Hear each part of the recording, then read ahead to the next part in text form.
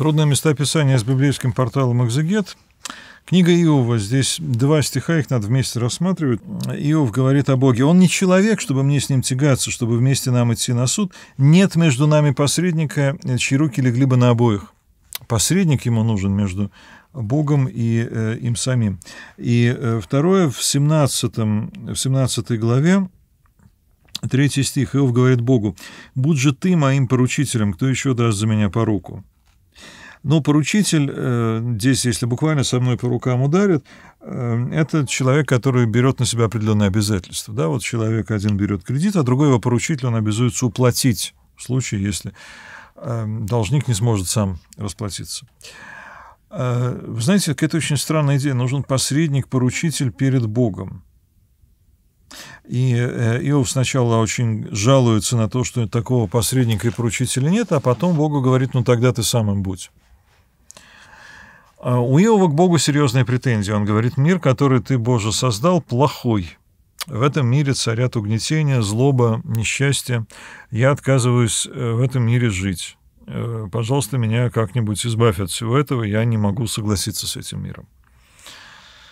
Ну ладно, Друзья говорят, это ты все грешишь, э, поэтому ты так разговариваешь, давай покайся перед Богом. Иов говорит, мне не в чем каяться.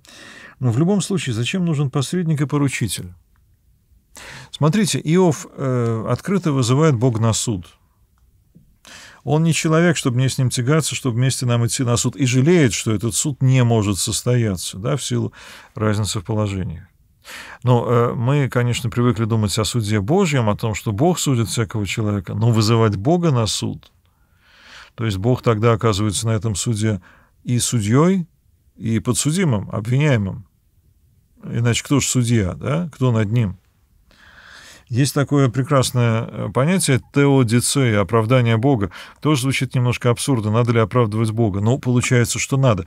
А причем обычно э, теодицея, она вся как раз крутится вокруг вопроса о несовершенстве мира. Причем не о том, что вообще что-то вот... В мире, знаете, не все прекрасно, но о том, что в мире происходят ужасные вещи, очевидно, мучительные, несправедливые. А, и как с этим связать существование всеблагого, всемудрого и всесильного Бога. Об этом вся книга Иова. Но, э, опять-таки, теодицея, вот, это такое богословское упражнение, где Бог становится объектом размышления. Не так ли? Но здесь Иов говорит, я хочу с тобой, Боже, судиться. Мне только нужен посредник или поручитель. И тот, кто будет в этом э, суде э, на моей стороне, и кто будет отличен от тебя. Зачем? Смотрите, э, если в этом суде участвуют две стороны, причем одна из них заведомо э, слабее другой, не просто слабее, неизмеримо слабее, то шансов выиграть у нее нет. А каким должен быть этот поручитель? Чьи руки легли бы на обоих? То есть должен быть такой посредник, который одновременно и Бог, и человек. Что-то уже знакомое начинает проблескивать из догматического богословия. Вот э, книга Иова, она задает один из очень мучительных вопросов, которые люди задают, э, всегда на самом деле задают. Если Бог всеблаг, всеведущ и э, всесилен, то а почему есть зло? Причем, еще раз скажу, страшное зло, там, освенцем, э, захват детей в Беслане, ну, такие вещи, которые просто вот ужас, да, нельзя сказать это им за грехи, потому что нет таких грехов, за которые детей можно мучительно убивать.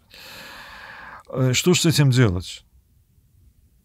Дальше начинается множество всяких обсуждений на тему «это свобода воли», «это последствия греха». Если лишить человека свободы воли, то это будет уже не человек.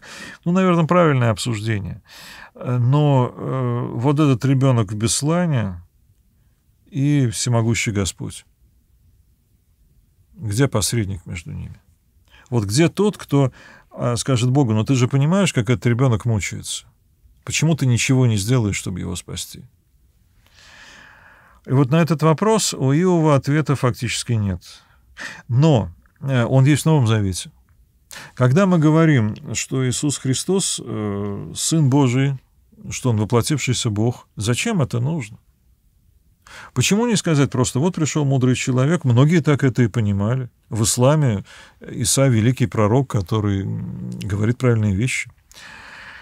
А, но почему важно сказать, что он одновременно Бог и человек? И для христианской традиции это стало прямо очень важным. Да? Это положение э, Никейского Первого Вселенского собора и то, что всеми христианскими деноминациями так или иначе принимается, а те, кто не принимают, собственно, не считаются христианами.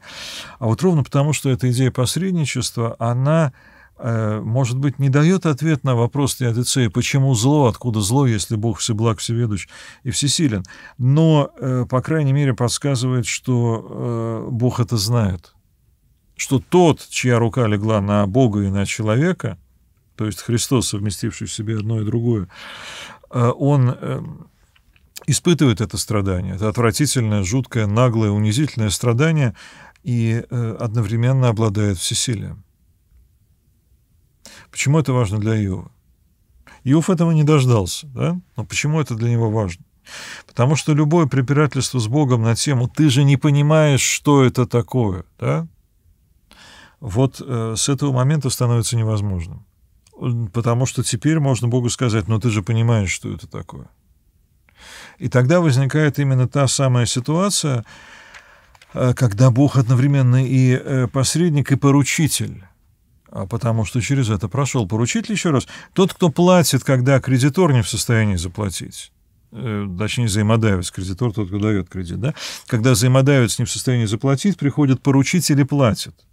Вот в новозаветном богословии, особенно у Павла, э, будет очень развита эта идея э, искупления, которая вот буквально так и звучит. Приходит Христос и своей смертью платит э, по долгам, платит за те грехи, которые люди эм, совершили.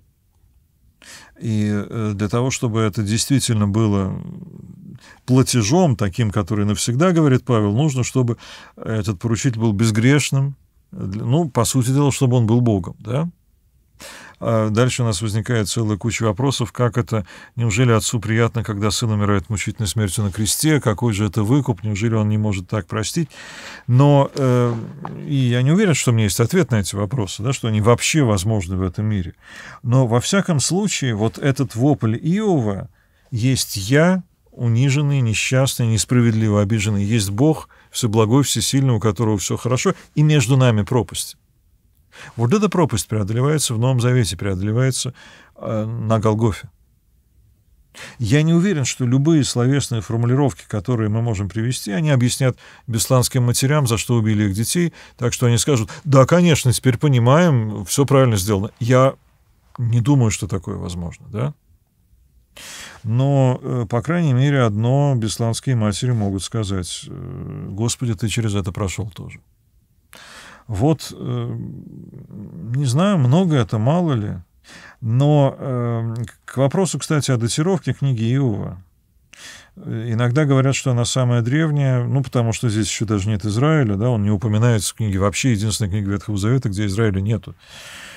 А Иов, он один такой, э, как бы голый человек перед Богом, униженный, несчастный человек, который где-то там сидит на куче пепла и разговаривает с Богом, а еще ни Завета, ни Израиля, ни Синая, ни, ни Скрижали, ничего нет.